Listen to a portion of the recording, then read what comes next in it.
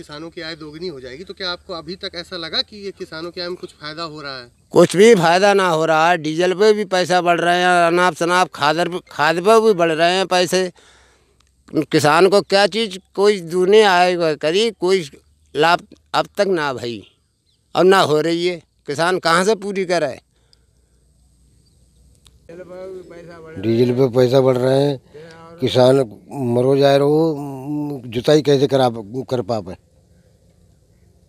और क्या क्या समस्याएँ आ रही समस्या, सब समस्या है। इंसान कोई फ़ायदा नहीं काश्तकार को।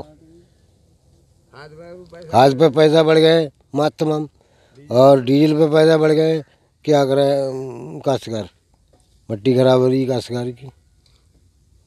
सरकार ने वादा किया था कि किसानों की आय दोगुनी हो जाएगी, लेकिन हकीकत में कुछ और ही है। रोज़ बढ़ते हुए डीजल के दाम और खाद के दाम से किसान काफ़ी परेशान हैं।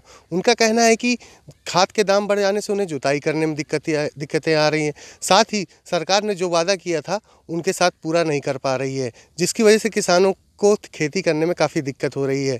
बदायूं से क्रांतिवीर सिंह।